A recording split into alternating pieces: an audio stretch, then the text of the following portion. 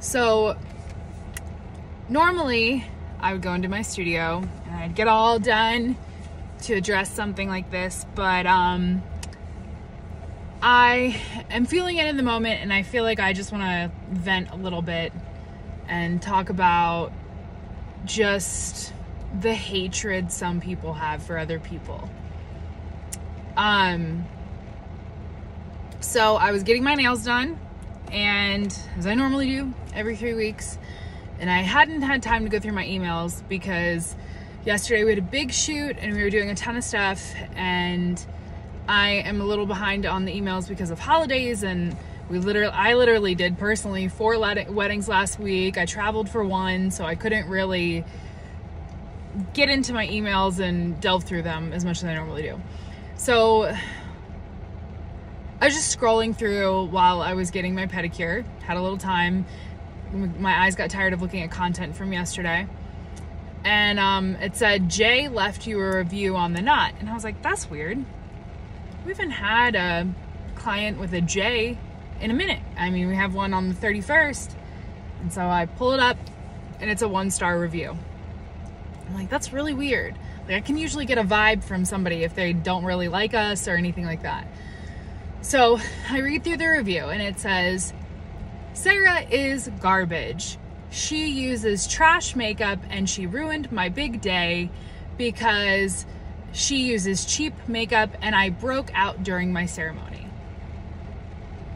Now, at first, my reaction was like really emotional. I got really upset about it and I didn't quite understand. I'm sitting here in the parking lot. I gotta take this off.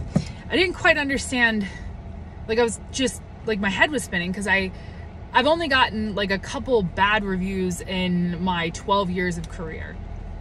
And so, and a couple of them were totally valid, and some of them weren't at all.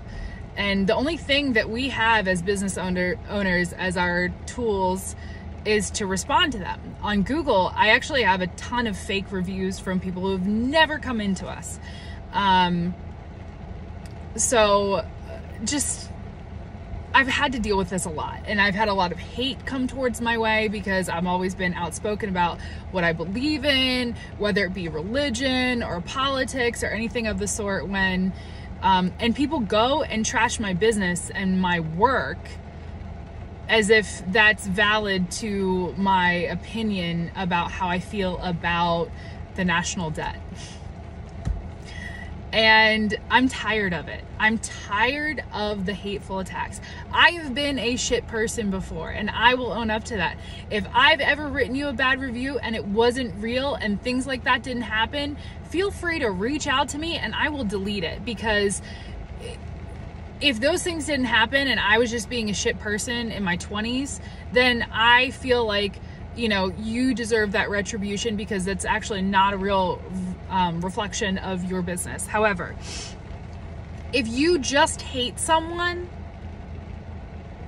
and you go trash their business and write bad reviews, and this goes for anything, I'm talking politics, personal beliefs, religion, anything, the only person that's garbage is you you're the garbage person for writing that review that has nothing to do with their business, with their actual craftsmanship and work, and with all of the time and effort that they put in it. And not only that, if they have employees and you're trashing their business, you're taking money out of those employees' pockets, their families, and ours. You are taking food off of their table, the rent and mortgage payment out of their bank account. That is you and your responsibility you are the trash person.